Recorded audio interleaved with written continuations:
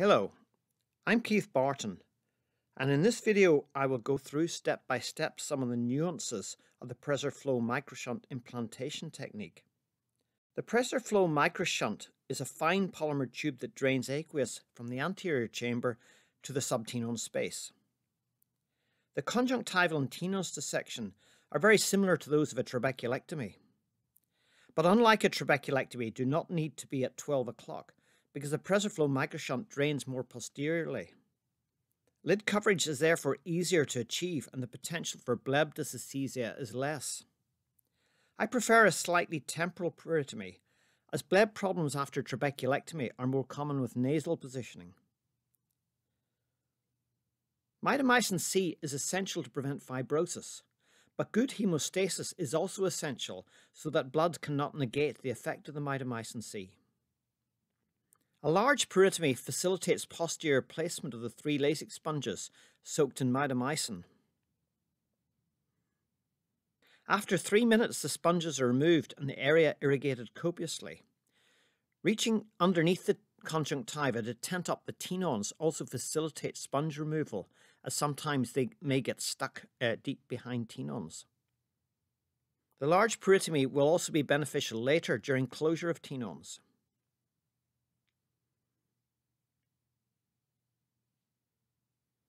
After light scleral cautery and drying of the area, a mark is made 3 millimeters behind the limbus.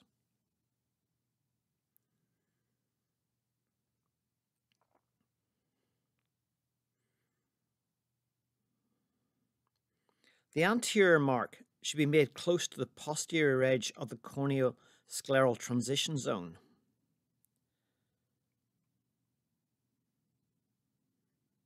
This mark is too anterior. This mark is at the posterior limbus, which is correct.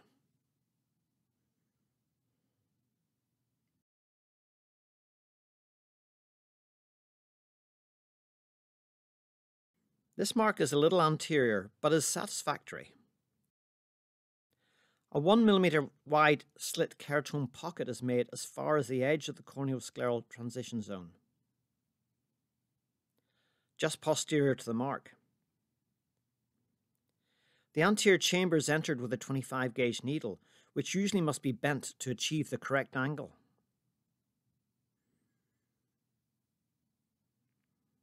The needle is introduced the length of the pocket and tilted forward to enter just anterior to the iris. Avoid distorting the tissues during entry, or the PreserFlow microshunt may finish up closer to cornea than ideal.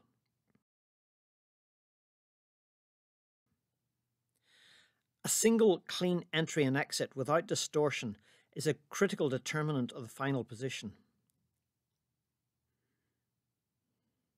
Carefully remove the microshunt from its packaging over the eye as it is easily flicked out of the field. The PreserFlo microshunt is carefully fed bevel up through the pocket and into the anterior chamber. The fins are slightly wider than the scleral pocket to ensure the PreserFlo microshunt self-retains. Nevertheless, it is important to ensure that the PreserFlo microshunt is correctly seated. Difficulty inserting the microshunt may occur if the anterior chamber is over or underinflated, or if the scleral pocket apex is situated more anteriorly than the anterior chamber needle entry point. As the flow microshunt is hydrophobic, it often requires some encouragement, such as scleral pressure, in order to drain.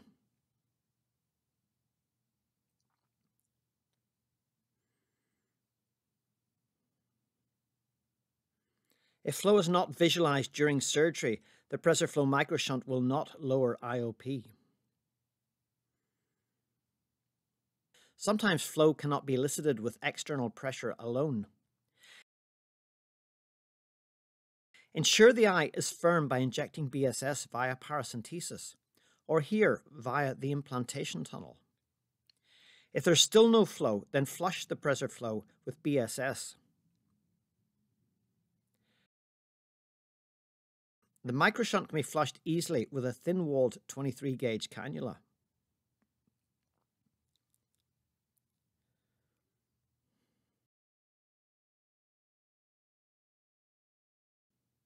In this case, flow is then easily visualized with fluorescein. When flushing, ensure the cannula is snug against the fins of the microshunt inside the pocket entrance.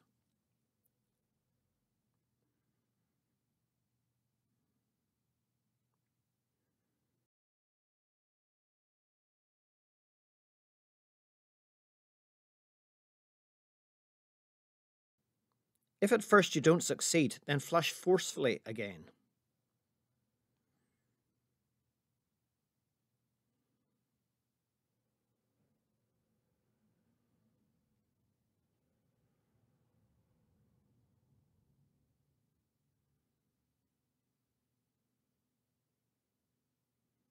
If a thin-walled 23 gauge cannula is not available, don't panic. A regular 21 gauge can be used instead.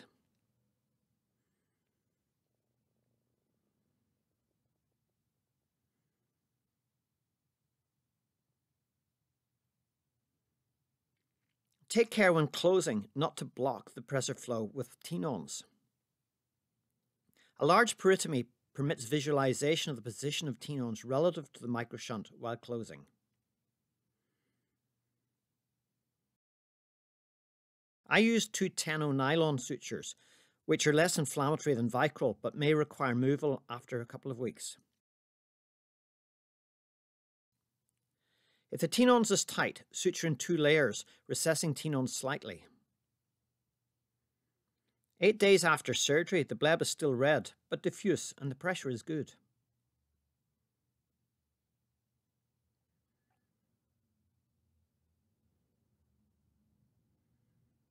Five months after surgery, the bleb is quiet and diffuse.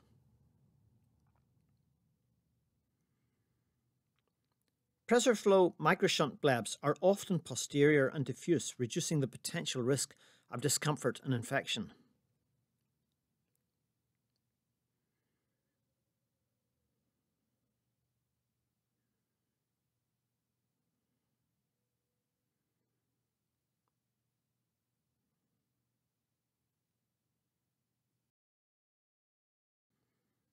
I hope you find this video helpful and thank you for watching.